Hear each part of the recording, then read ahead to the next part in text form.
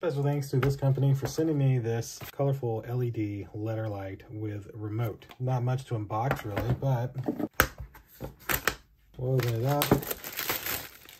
Oh, it takes batteries. Very cool. So you need two uh, AA batteries, which are not included, of course. And then there's a little on-off switch right there. And hang it there. And then the remote does include batteries, so that's good. Let's get some batteries in here, set this up, and see what it looks like.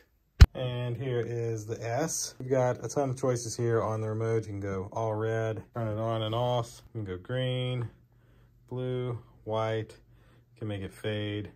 Tons of different cool options. Jump through the colors. That is really cool. I, of course, like the green myself. Pretty amazing. And being battery operated just makes it even better. Thanks again to the company for sending this to me. Thank you all for watching. We'll see you in the next one. Deuces.